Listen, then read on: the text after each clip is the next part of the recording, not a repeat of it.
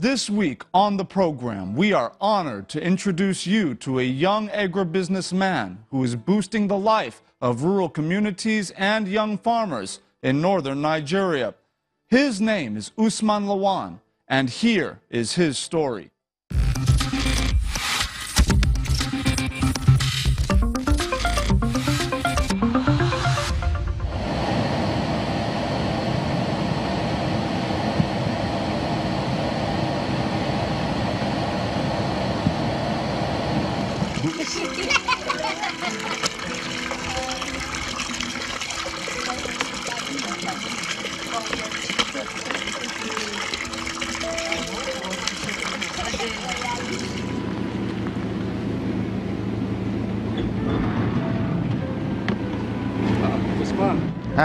Hi, Ajuri. how are you? I'm fine, thank you. Welcome to Osaifa Integrated Farms.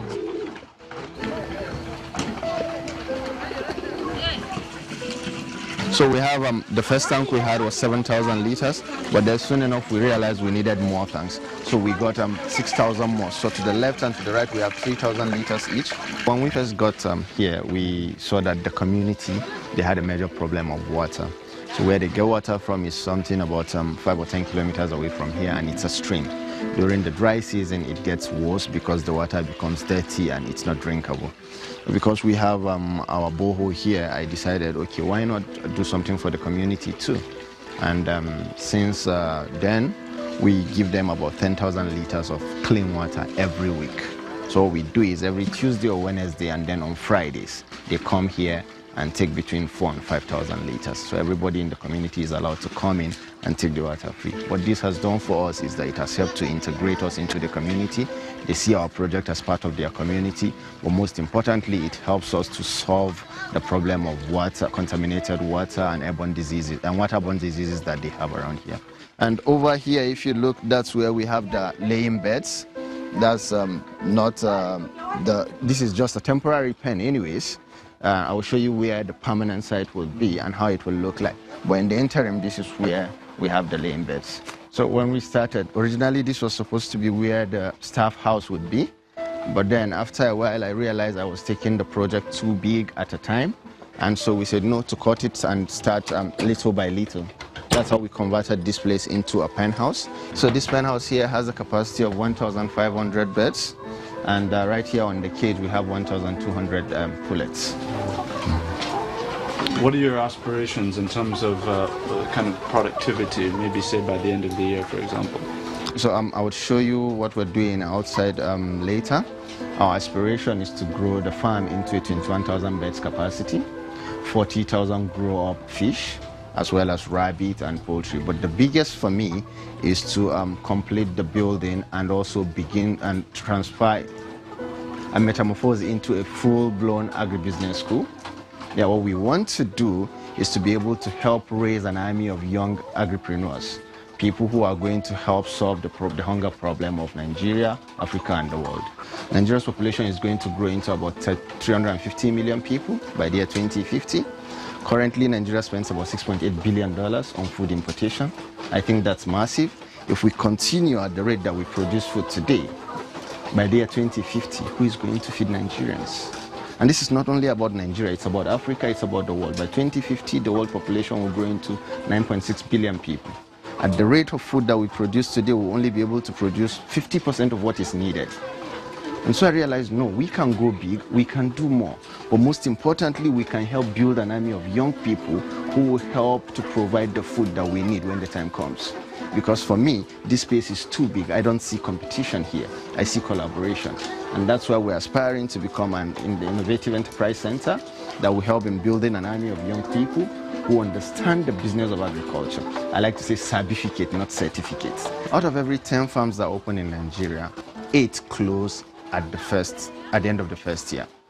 And this is a terrible thing. So you go around here, even right behind me here, we have a farm which has the capacity of about 12,000 beds. It's closed. And I believe that one of the major reasons is because people lack the knowledge to run agribusiness. you know, there's this story about um, farming is a good business. The government is talking about farming, and people just jump into it without really understanding what it takes to be a farmer, how to run a proper farm. And that's why I believe that um, the gap, the knowledge gap between you know, the classroom teaching and the actual practice of agribusiness needs to be bridged. And that's where our Innovative Enterprise Center will come in. So we focused more on rural farmers, people who are actually into the farming business, as well as trying to build a young army of fresh graduates who would see that farming is not just um, um, a poor man's business, but it's also something that you can earn money with dignity from. You see, the birds are only 18 weeks old as at yesterday, but look at the size of egg we already have. Hopefully, if you come here in another two or three weeks, when they, they should be around 20 or 21 weeks, all of the cage will be filled with eggs. Yeah. And the interesting thing also is the fact that our system is purely organic.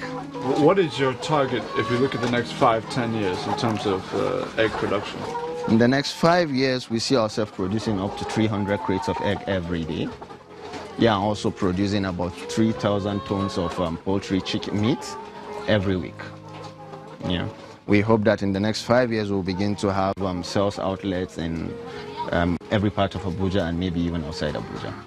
That's the whole objective. And we also hope that in the next five years we would have raised about um, 5,000 people who are fully trained um, in agribusiness. Growing his integrated rabbit, fish, and chicken farm, sustainability is Usman's watchword. Based on our interest on trying to teach young people and also to be able to start small. The rabbit farming is one good way to do that because with um, a little capital of between 20,000 and 50,000 naira, you can start a rabbit farm. And they reproduce like um, massively. A rabbit can give you between 6 to um, up to 12 liters depending on the species and the breed. And um, they also produce every two months. You know, you're, you're involved in such a diverse range of, of products. Yeah because of that, I, I want to ask you when you look at the Nigerian situation uh, as relates to agribusiness, mm-hmm. what do you think are some of the opportunities and, in some cases, missed opportunities in the sector? Something very peculiar about the Nigerian agribusiness sector is that the vast majority of people practice smallholder farming. It's very difficult for you to see a farmer in Nigeria who owns up to 10,000, uh, 10 hectares, for instance. So you have a vast majority of people who own between 2 hectares to 3 hectares. These people do not have the finance.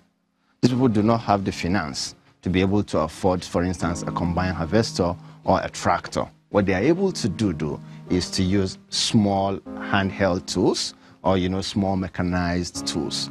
So when you talk about mechanization in the Nigerian agribusiness sector, people think about the tractors, people think about the combine. That I think, in my opinion, would not work. What we want is that we want to be able to give the farmers small handheld mechanical tools or even motorized tools. For instance, um, threshers, shredders that a farmer can be able to afford if um, he puts in, say, maybe um, five liters of fuel, it will be able to serve his two acre farms, for instance, or um, a mechanical handheld tool. I'll show you one later. It's called the grain seeder hand planter.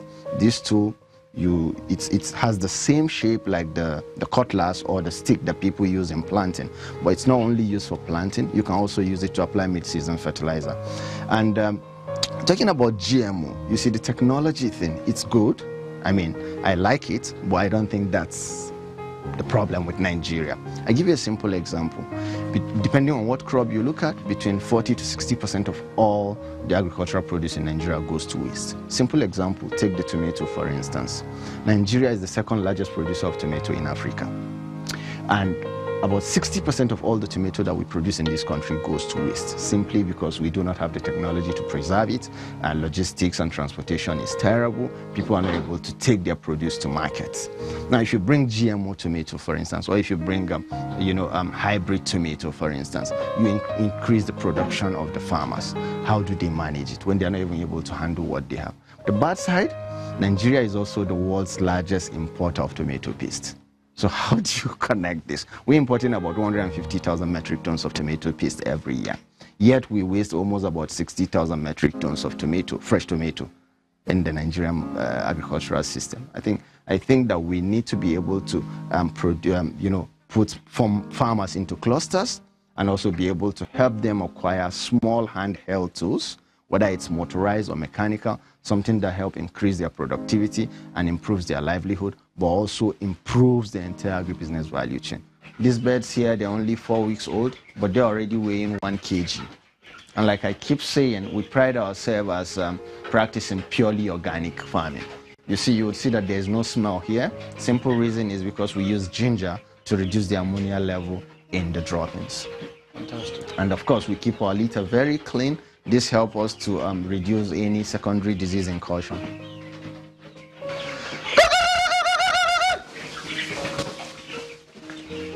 So you see, this should show you how active the beds are.